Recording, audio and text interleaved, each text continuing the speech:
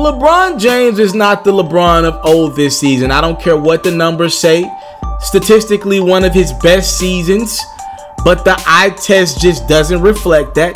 If your star player puts up 27 points, 9 rebounds, and 8 assists a game, you expect to make the playoffs. Year one of the Lakers' experience with LeBron James likely will result in the Lakers not making the playoffs for the fifth straight year. Obviously, his eight year run personally of making the finals is over, and now the off season of questions begins. Here's the first question How was LeBron able to carry a depleted Cleveland Cavalier team to not only the playoffs, but to the NBA Finals, but not a young, talented Lakers team? Is it because the Eastern Conference is just not as good as the Western Conference? Did LeBron this season put up a lot of meaningless stats? Is he still making guys around him better? A trait that we've accredited King James at an all time level throughout his career.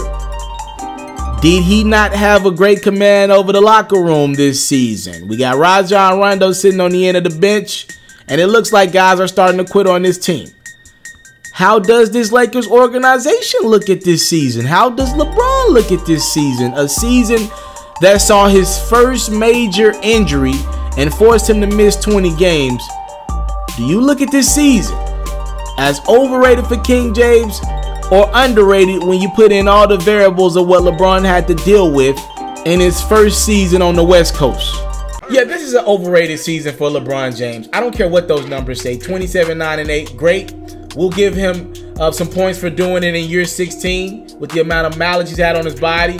Obviously, you give LeBron that respect in that regard. This is it's not easy what he's doing night in night out. But compared to his standard, if you just sit down and watch the games, you can look and see, nah, he's settling for too many jumpers. He's really not committed to defense. His body language is a little off. You got Kyle Kuzma thinking it's cool to push LeBron into an imposing team's player to make him defend. That shouldn't be happening to somebody known as the best player in the game Steve Kerr would never do that to Michael Jordan. Scottie Pippen would never to Michael Jordan because you know night in and night out, Michael Jordan's gonna give it to you. He's gonna give you that effort. Robert Horry would never push the great Kobe Bryant. Pau Gasol would never push Kobe into an imposing team's player because you didn't have to. You knew night in, night out, the guy that's sweating the most is number 24 number 23, right? And this number 23, I don't believe his teammates believe he's sweating the most.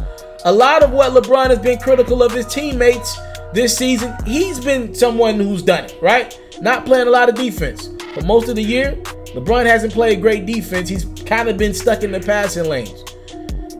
Getting to the rim. LeBron has been settling for that jump shot a little bit too much this year. That speaks about will. Focus level. I mean, LeBron has announced so many movie projects. It is literally ridiculous. I literally can't keep up with it. I think if you ask LeBron himself, he'd tell you, yeah, this is an overrated season. This is one of one of my best. This will be the this will be the forgotten season in LeBron's career, coming after eight straight NBA Finals appearances.